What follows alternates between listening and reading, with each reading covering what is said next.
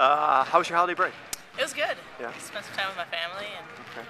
got back here for basketball. What is a what does a, a Blommel uh, holiday break look like? Oh, it's crazy. Really? We have a big family, especially on my dad's side, so it's a lot of people.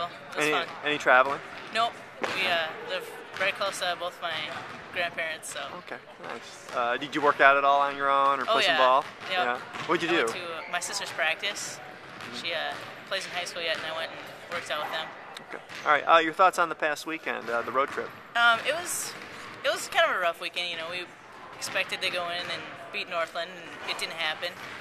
But uh, I think we'll be ready for them when they come here, and gives us a little extra motivation for the rest of the season. I think.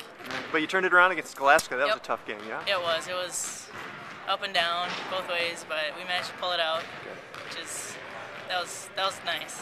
Glad to be back at school now. Were you getting bored at home? Does that ever Um, happen to you?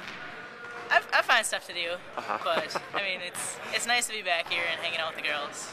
All right. Well, uh, good luck on Thursday. Thank you. All right.